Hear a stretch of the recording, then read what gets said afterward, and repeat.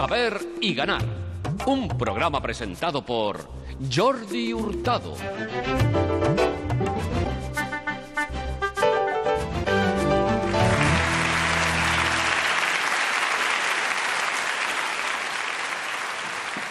Hola amigos, bienvenidos a Saber y Ganar. Hoy estamos encantados de acompañarles y de recibir por primera vez en este plató a Fernando, que viene de Conil de la Frontera, Cádiz. Bienvenido, mucha suerte Fernando. Gracias. Tenemos a Isabel, aquí está también de Cuenca, Isabel Bonilla, tercer programa. Suerte Isabel. Y recibimos en este programa número 50 al gran Fausto, el tigre de luche. Ahí está adelante, Fausto. Atencia, felicidades, Fausto. Cumple 50. Muchas gracias. Gracias. Muchas felicidades. Muchas gracias. Bueno, tenemos una ausencia y queremos enviarle un abrazo enorme y todo nuestro apoyo a Roberto Sánchez, ese gran campeón que ha estado a lo largo de 76 programas en Saber y Ganar y que ha llegado a una cantidad también estimable, un buen premio, merecidísimo sin duda.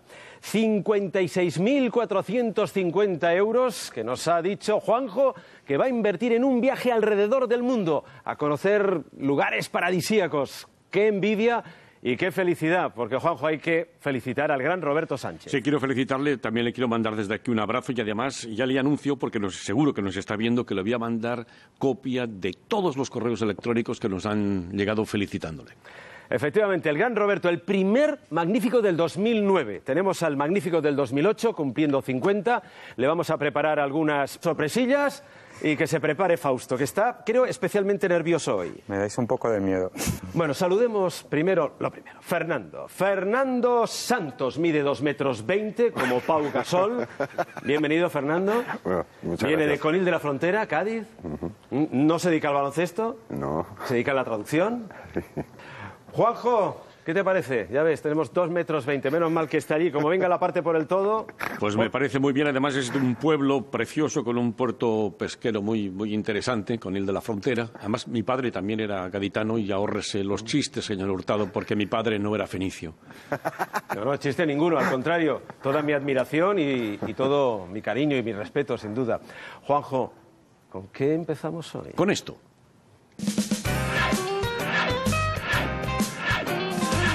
Día y mes, peludos hermosos, onomatopeyas, pieles de colores y adolescentes deportistas. Cinco temas. Fernando, ¿cuál prefiere? Eh, ¿Onomatopeyas? Onomatopeyas. Juanjo, ¿hay que aclarar algo? No, no hay que aclarar nada. Onomatopeyas simplemente. Adelante, Fernando, a responder. Suerte, tiempo. Aunque puede utilizarse como exclamación, esta palabra representa el ladrido del perro en español. ¡Wow! Correcto. La palabra boom representa una explosión figurada y significa... Mm, Un éxito inconmensurable. Correcto. ¿Qué sonido hacía el lobo hombre en París en la canción del grupo musical La Unión? Uh. Correcto. ¿Qué sonido animal suele representarse sobre todo en las onomatopeyas de los tebeos con la palabra oink? El de un cerdito. Correcto. Hablando de cómic, cuando un personaje de tebeo hace ¡buah! es que está... Llorando. Correcto. ¿Qué insecto hace cri cri con sus élitros, sobre todo en las noches de verano? El Pepito Grillo. Correcto, el grillo. ¿Qué sonido hace el ratón del ordenador cuando se pulsa alguno de sus botones? El clic.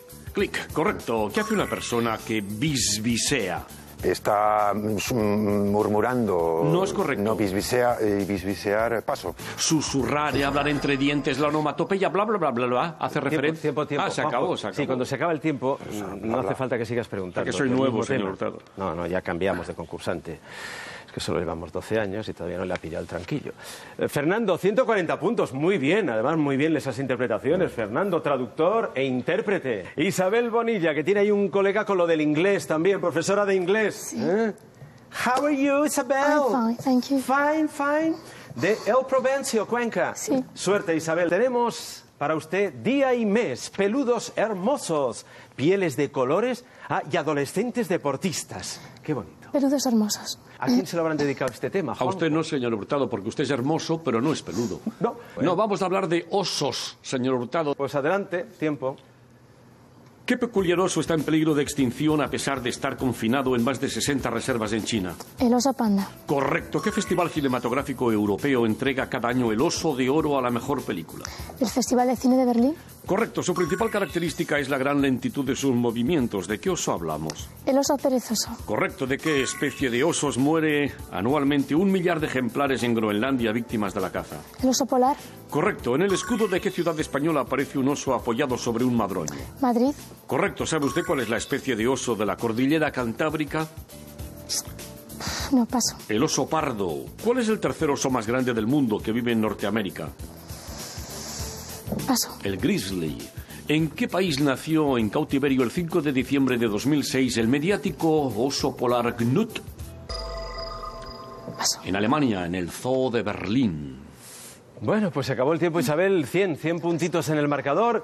Y aquí estamos ya, como hemos dicho, felicitando en este programa número 50 a Fausto Atencia de Aluche, informático. Enhorabuena. Muchas gracias. Mucha suerte y a 50 más. Sí, 50. A pasar hoy a disfrutar en este programa, pase lo que pase, Fausto. Sí, sí.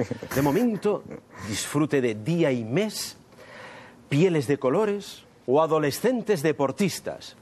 Adolescentes deportistas. Se siente identificado con el tema, ¿verdad? Sí, con las dos cosas. Pues adelante, Juanjo, ¿eh? y tiempo. ¿En qué equipo de baloncesto juega Ricky Rubio, plata olímpica a los 17 años? En el Juventud. Década de Juventud, correcto. ¿Qué gimnasta española se estrenó en los Juegos Olímpicos de Atlanta con 16 años y llegó después a tres finales olímpicas más? Almudena Correcto. ¿En qué cilindrada compite el piloto Paul Espargaró de 17 años? 125. Correcto. ¿Qué golfista español apodado El Niño jugó su primer European Tour con 16 años? Sergio García, Correcto. ¿En qué equipo de fútbol español juega el jovencísimo Bojan Kric? en el Barcelona. Correcto. ¿Sabe usted qué número ha usado siempre Raúl en el Real Madrid desde los 17 años? El 7. Correcto. ¿En qué deporte ha sido elegido Víctor Corrales como el mejor junior de 2007? Corrales. Baloncesto. No es correcto. Atletismo. Correcto. ¿Quién ha sido el piloto más joven en liderar el campeonato de Fórmula 1? Eh, Alonso. No es correcto. Es Hamilton. Es verdad. Pues efectivamente, y hasta aquí cada sabio y los marcadores. Isabel 100, Fernando y Fausto con 140. Vamos con la pregunta caliente. Suerte a los tres. Vamos a ver quién va hoy al reto. Y Juanjo, la primera. El monte Narodnaya, de 1895 metros, es el monte más alto de qué cordillera montañosa europea? Pregunta para Isabel. Los Urales. Correcto. Muy bien, sigue Isabel. Descubran ustedes quién es. Es la segunda pregunta. La primera pista es, fue niña rica y modelo. La segunda pista, canta, pero bajito. Tercera pista, unió su elegancia al poder. ¿A quién envía la pregunta? A Fernando. Rebote. Paris Hilton. No es correcto. Carla Rebote. Bruni. Carla Bruni. Très bien, Isabel. Tercera pregunta. ¿En qué conferencia celebrada en 1944 se crearon el Fondo Monetario Internacional y el Banco Mundial? ¿Quién envía la pregunta? A Fausto. Washington. No es correcto. Rebote. Bretton Woods. Correcto. Muy bien, sigue Fernando. Cuarta pregunta. ¿Cuál es el nombre de la familia que protagoniza la película Sonrisas y Lágrimas? El nombre de la familia. ¿Quién envía la pregunta, Fernando? A Isabel. Rebote. Fontrap. No es Kai, sí, perdón, correcto, dirigida por Robin Wise en 1965. Correcto. Pues muy bien, y luego Fausto nos cantará la canción de Sonrisas y Lágrimas para celebrar el 50. Por ejemplo. Pues estamos en la quinta pregunta. ¿Qué escudería ha suspendido su participación en el Campeonato del Mundo de MotoGP 2009? ¿Qué escudería? ¿Quién envía la pregunta? A Isabel. Eh, Rebote. Honda. No es correcto, rebote. Yamaha. No es correcto, Kawasaki. Sigue Isabel por asignación. Sexta pregunta. Es la palabra incógnita, cejo. ¿Un cejo es un calvo? ¿Es un amuleto? ¿Un cejo es un timbre? ¿O creen ustedes que cejo significa niebla, pánico o escalofrío? ¿A quién envía la pregunta, Isabel? eh, a Fernando. Escalofrío. No es correcto, rebote. Un amuleto. No es correcto, rebote. Eh, un timbre. No es correcto. Cejo, niebla que suele levantarse sobre los ríos y arroyos después de salir el sol. Por lo tanto, sigue Fernando por asignación. Estamos en la séptima pregunta. ¿Qué literato conocido por sus novelas autobiográficas dio nombre a la generación del 98? ¿A quién envía la pregunta? A Isabel. Unamuno. No es correcto, rebote. Eh, Rebote. Pío Baroja. No es correcto, Azorín. Sigue Isabel por asignación. Octava pregunta. ¿Qué país europeo reclama la posesión de la tierra de la reina Mot en la Antártida? ¿A quién envía la pregunta? A Fausto. Dinamarca. No es correcto, rebote. ¿Noruega? Correcto. Muy bien, sigue Fernando y atención, Fausto está en el reto. Novena pregunta. Atentos a la imagen que aparece a continuación. Lo reconocen perfectamente. Pertenece al tríptico El Jardín de las Delicias de Jeronimus Bosch, El Bosco. La pregunta, como siempre, es ¿en qué lugar está expuesta esta obra? ¿Y a quién envía la pregunta, Fernando? A Isabel. El Prado. Correcto. Museo del Prado. Sigue Isabel. Atención, atención, porque tenemos a Fausto en el reto. Y Juanjo, ¿nos queda solo? Una pregunta que es la décima. ¿Cuántos miembros tiene el Tribunal Constitucional de España? Isabel, ¿a quién envía la última? A Fernando. ¿24? No es correcto, rebote. 20. No es correcto, rebote. 12. Pues 12. Esa es la respuesta y atención a los marcadores. Tenemos a Isabel con 350, Fernando 290, primer programa, enhorabuena Fernando. Y Fausto, 170. Fausto, ¿qué significa? Reto. Reto. ¿Podemos llegar a un acuerdo? Eh, estoy dispuesto. ¿Sí? Sí. Nos canta la canción completa de Sonrisas y Lágrimas y nos saltamos hoy el reto, ¿qué les parece? ¿Sí? La de Del Vice, por ejemplo. Por ejemplo. Eh, del Vice, eh, del Vice. Na, na, na, na, na, Juanjo, na. pero, esto, pero si esto parece cuando cantas tú, esto no, esto no, esto no se salva del reto. Pues a mí me ha parecido muy bien. ¿eh? Ni la de do. Do, este, estrato de varón. Oh, estrato de varón. Venga, va. Re selvático animal. ¿Qué más? Mi denota Fernando también ayuda, va, posesión. todo. Faz lejos en inglés. Bueno, ahora sí, ahora sí, ahora sí, ahora sí. Por lo tanto, no se mueva. Y gracias a Isabel y gracias a Fernando, que nos veremos en el próximo programa porque nos vamos a quedar con Fausto. Programa número 50 de Fausto Atencia de Aluche. Fausto, bueno, alguna sorpresa tenemos preparada ya. Además de cantar. Además. Fausto, escuche esta voz a ver si le suena. Hola, voz. Hola. Hola, Fausto.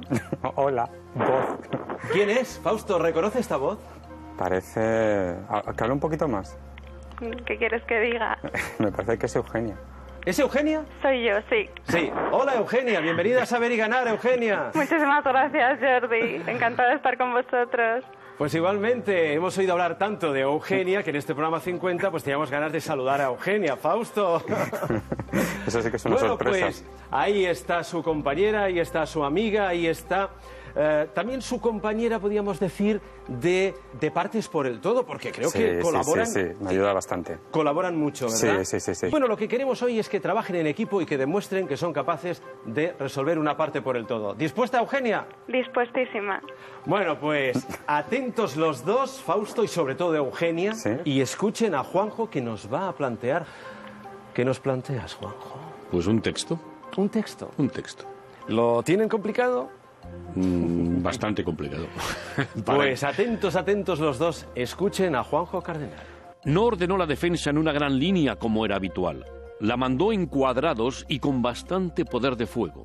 Eugenia, mm, va- vaya resolviendo la parte por el todo como suele usted hacer habitualmente. No sé si tiene alguna enciclopedia al lado o tiene mm, lo que me imagino a mano. Sí, sí, ¿De acuerdo, tengo. Empezaré a buscar porque así de primeras no me porque le sale damos nada. muy poco tiempo. Muy rápido, hay que ser muy rápido. Eugenia, muy veloz. Enseguida volvemos con Eugenia y con Fausto, pero antes, mientras ellos intentan resolver la parte por el todo, a distancia, ella en Madrid y Fausto en el plató de San Cugat, vamos con la pregunta de Pilar para que ustedes también participen en el programa. Ya saben, teletexto de Televisión Española, página 642, teléfono 905 44 54 64 o envíen un SMS al 7117. Y este es el premio, un conjunto multimedia compuesto por un ordenador de 250 gigas de disco duro, una pantalla plana de alta resolución y escáner impresora. Atentos a Pilar. Y hoy presten mucha atención porque es el último día que tienen para decirnos qué imagen se repite. Cada una de ellas corresponde a diferentes plazas de diferentes ciudades del mundo, como esta, la Trafalgar Square de Londres, presidida por una columna con la estatua del almirante Nelson. Y ahora fíjense bien en el resto y díganos a qué ciudad pertenece la plaza que verán dos veces. Madrid, Venecia, Buenos Aires, Praga, Vaticano, Pekín, Moscú, Berlín, Venecia, París, Londres. ¿Conocen la respuesta? ¿Qué ciudad italiana acaban de ver dos veces? Pero si es muy fácil. Si conocen la respuesta, tomen nota de este teléfono y llamen al 905 44 54 64 o envíen un SMS con la palabra saber más la respuesta al número 7117. Suerte. Suerte, suerte a todos y suerte a nuestros concursantes, a Fausto, programa número 50, y a Eugenia a través de la línea telefónica. ¿Tiene alguna idea, Fausto? Sí, pero me parece que sin la enciclopedia al Ah, lado. Al es- lado. Bueno, Eugenia, escuche de nuevo también a Juanjo. Adelante. ¿Quiere que lo repita, señor Hurtado? Sí, por favor, a ver si tienen ya una idea más clara. No ordenó la defensa en una gran línea como era habitual. La mandó en cuadrados y además con bastante poder de fuego. Eugenia, ¿tiene ya la solución con qué todo relaciona esta parte? Pues yo creo que sí, yo creo que debe ser algo de, de la batalla de Waterloo, quizás eh, algo del general Wellington. Algo del general Wellington. No digas Sí. nada, Juanjo, todavía. Fausto, ¿usted qué cree? ¿Usted diría otra cosa? Yo iba a decir algo precisamente de Waterloo, pero de Napoleón, del otro, del otro bando. Pero, mm, ¿está de acuerdo con lo que dice Eugenia? Sí, podría ser perfectamente. Bueno, pues muy bien, muy bien, Eugenia. Eh, Juanjo. Yo es eh, que tengo aquí un, un mapita, Jordi, como yo no soy muy muy buena con los mapas, quizá para que él tome la decisión, es que es una pena que, que él no pueda verlo. Señor Hurtado, señor Hurtado, Sí, de todas dígame, maneras, dígame, sí. solo admitiremos una respuesta entre los dos. ¿eh? No sirven dos respuestas, solamente una entre los dos. ¿eh? Juanjo, ¿va bien encaminada, Eugenia? Mm, Yo diría que no va demasiado mal. No va mal. No, va demasiado mal. No, pues si no va mal, entonces lo único que nos queda, Fausto, es que Eugenia nos muestre el mapa. Eugenia, ¿dónde está? Adelante, Eugenia, que está en nuestro plató. Adelante, Eugenia Ruiz. Bienvenida. El reencuentro aquí. Bueno, Fausto, esta es la sorpresa. No se lo esperaba, sí, no lo sabía. que va, que va. Nada. Su colaboradora, su Sí. compañera, su pareja, Sí. los dos. Bienvenida, Eugenia. Muchas gracias, Jordi. Bueno, ¿cómo está? Está hecho un plan, Fausto. Sí, sí, la verdad es que no me lo esperaba. Estaba convencido que estaba a través del teléfono en Madrid. Sí, sí, sí, sí. sí. Felicidades, efectivamente. Juanjo, ¿la respuesta era correcta? Pues la respuesta es correcta. Efectivamente, el general Wellington organizó de esta manera la ofensiva de las tropas británicas que él comandaba frente a las tropas de Napoleón. ¿eh? O sea, la razón la tenía Eugenia y no Fausto. Bueno, pues Eugenia, ya que están aquí los dos, ¿qué les parece? Les propongo que sigamos jugando. ¿Jugamos a un duelo especial? ¿Le apetece? ¿Fausto, sí? ¿Eugenia? sí, sí, sí. ¿Dispuestos? Sí. Pues voy a acercarme a ellos para que jueguen en este programa 50 de Fausto a un duelo muy especial. ¿Nos acompañan? Fausto, déjeme el lugar, bueno. que están demasiado juntitos. Bienvenida. Muchas gracias. Eugenia, un placer, un placer tenerla aquí en este programa 50. Vamos a jugar al duelo. Atención, aquí tenemos cuatro sobres y les voy a contar que pueden ganar 200 puntos cada uno si cada uno acierta. ¿Mm? En cada pregunta, cada uno se puede, puede ganar 200 puntos. Tenemos cuatro sobres. Vamos con el primero. Título, el título Rosas. ¿Por qué Rosas?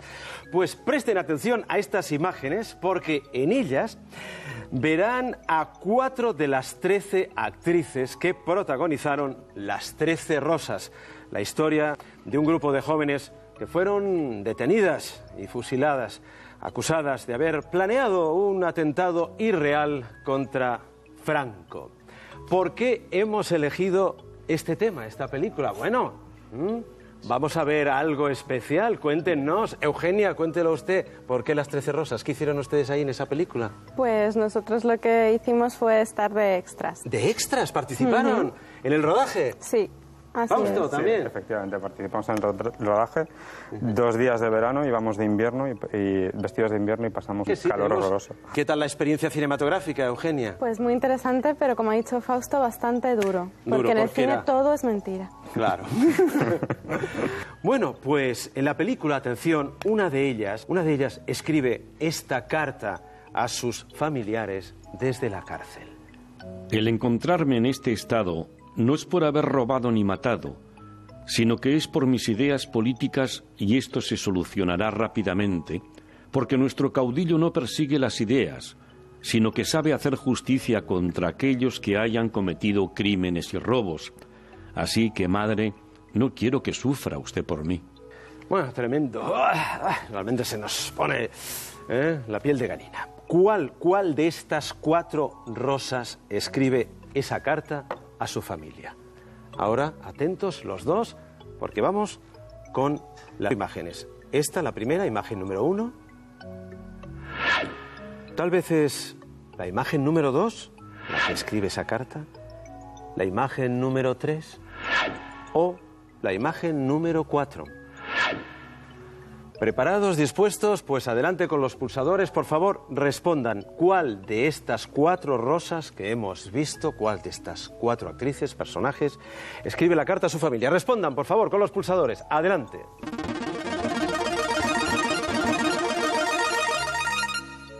Y el resultado es... Muy bien, los dos dieron la respuesta correcta. Era la número cuatro, la imagen número cuatro. La actriz Bárbara Leni en el papel de Dionisia Manzanero, de 20 años, modista. ¿Lo recordaba bien, Eugenia? Sí, aunque es cierto que he estado dudando un poco con la número uno, que escribía una carta pero a su hijo. Bueno, pues muy bien, ya 200 puntos para cada uno, son 400. Evidentemente van al marcador de Fausto. Usted luego ya le pedirá el 97%, Eugenia, ¿eh? como se merece. Seguimos con otro tema. Otro sobre de este duelo, informática. ¿Por qué informática? ¿Mm? Eugenia, ¿hablan mucho de informática? ¿Sí? Mm, Si ¿En hablamos es un monólogo por su parte, porque yo no puedo decir gran cosa. Son los monólogos de Fausto sobre la informática. Eso es. Bueno, pero en su casa nunca se cuelga el ordenador. A veces sí y me toca a mí descolgarlo. Claro, para eso está el informático en casa, ¿eh, Eugenia. Bueno, pues atención, hay ordenadores personales que ya empiezan a conseguir la categoría de pieza digna de museo. Les vamos a mostrar cuatro ordenadores que seguro que reconocerán. Fíjense, el Osborne 1. Fíjense en la segunda imagen, el Commodore 64. Atentos a la tercera, el Atari 400. Y cuarta imagen, el Apple II. ¿Sabrían decirnos cuál de ellos es el más antiguo? ¿Cuál es el más antiguo? ¿La imagen 1, la 2, la 3 o la 4? Adelante con los pulsadores, respondan. Eugenia, Fausto, respondiendo. Y vamos a ver los marcadores. Atención. Este es el resultado. Bueno, pues eh, Eugenia el- la respuesta número 3 y Fausto la 4. Lo siento, Eugenia, la 3 no es correcta. La correcta es la del informático. Muy bien, informático. Gracias. El Apple II, Apple II. de 1977. Muy, muy antiguo, muy antiguo. Muy bien, por lo tanto, 200 puntos más al marcador. La respuesta correcta es la de Fausto. Ya han ganado 600 en este duelo y seguimos. Ahora un sobre que habla de abogados. ¿Por qué? Porque Eugenia es abogado, ejerce. ¿Qué tal las películas de abogados, Eugenia? Algunas con abogados buenos y otras algunos malísimos. a ver, a ver, a ver. Eugenia, volvemos al cine y en este caso presten atención a estos cuatro fo- fotogramas de clásicos del cine. En todos ellos verán a actores que interpretaron el papel de abogado defensor o de fiscal. Imagen número uno, Gregory Peck en Matar a un ruiseñor. Imagen número dos, Charles Lawton en Testigo de cargo. Imagen número tres, Maximilian Schell en El juicio de Nuremberg. Imagen número 4, James Stewart en Anatomía de un asesinato. Spencer Tracy es el juez en, atención, imagen número 1, Matar a un ruiseñor. Imagen número 2, Testigo de cargo. Tal vez en la imagen número 3, el juicio de Nuremberg. O la imagen que hemos visto número 4, Anatomía de un asesinato. Adelante, respondan con los pulsadores, los dos. Fausto, Eugenia. Y el resultado es... Vaya, pues ni la 1 ni la 4, lo siento, la respuesta correcta era la número 3, el juicio de Nuremberg, ahí Spencer Tracy, ahí era el magistrado, la película de 1961 dirigida por Stanley Kramer con Bart Lancaster, Richard Widmark, en fin, Marlene Dietrich, un un reparto extraordinario. Bueno, siguen con esos 600 puntos que han conseguido hasta ahora en este duelo y vamos con el último sobre, traducciones. ¿Quién traduce en casa, Fausto? ¿Quién traduce? ella traduce. Ella también traduce, ella en la parte por el todo, ahí buscando la sí, respuesta. sí, sí. Vamos a ver si hay más suerte. Adelante los dos. Los escritores que vamos a ver en imagen son autores de excelentes traducciones. ¿Cuál de ellos tradujo al español algunas de las obras más importantes de Virginia Woolf? Vamos con las cuatro imágenes. ¿El traductor es la imagen número uno? Tal vez la imagen número dos fue el traductor de las obras. ¿La imagen número tres? ¿O fue la imagen número cuatro? Respondan. ¿Quién tradujo al español las obras de Virginia Woolf? Y la respuesta es, atención. Muy bien, respuesta correcta. Muy bien, Eugenia, muy bien, Fausto. Los dos han dado la respuesta correcta. Era la imagen número dos, Jorge Luis Borges. Los dos lo sabían, Eugenia. Sí, y creo que incluso Fausto tienen alguna de esas traducciones, como Sí, Orlando, por ejemplo. Sí, la de Orlando. Yo llevo, bueno, Borges era un gran eh, aficionado, bueno, le gustaba muchísimo Virginia Woolf y, y, de hecho, bueno, Orlando es una novela que a mí me encanta y se la he recomendado a Eugenia, que tiene en la mesilla de noche que todavía no ha podido leer. Pues ya lo sabe esa recomendación. Orlando y un cuarto propio, entre otras obras de Virginia Woolf, traducidas por Jorge Luis Borges. Era la imagen número dos, muy bien. Y vamos a ver ya el marcador final. Atención, Fausto, hoy había conseguido solo 170, se ha librado del reto además, se ha librado del reto gracias a Eugenia. Y he cantado, y cantando también. Muy encantado. 170 más 1000 del duelo, 1000 puntos conseguidos en el duelo. Y el total acumulado, Fausto, ahí está. Y camino del 51, Fausto. Camino del A seguir 51. adelante. Seguro que sí. en el próximo seguro que hay reto. Así es Sí. que hay que intentar evitarlo. Y no se puede evitar cantando. Efectivamente, no habrá bula. No habrá bula. Suerte. Gracias. A seguir adelante. ¿Ha disfrutado con el 50? Muchísimo, y me habéis dado una sorpresa estupenda. Pues muchísimas gracias, Eugenia Muchísimas gracias Ruiz. Gracias por venir. Y la invitamos a concursar en Saber y Ganar porque estoy convencido que sería una excelente concursante. Ya lo sabe. Muchísimas gracias. ¿Acepta la invitación? Vamos a ver qué pasa. ¿Se lo piensa? Vamos a ver, con gente de tanta altura, la verdad es que impone bastante. Invitamos a venir con Fausto también, si lo desea, Eugenia. Gracias, muchas gracias. Muchísimas Suerte. gracias. Pareja sensacional. Una pareja extraordinaria que ha estado hoy compartiendo estos 50 programas con ustedes. Hasta el próximo Saber y Ganar. Gracias a todos.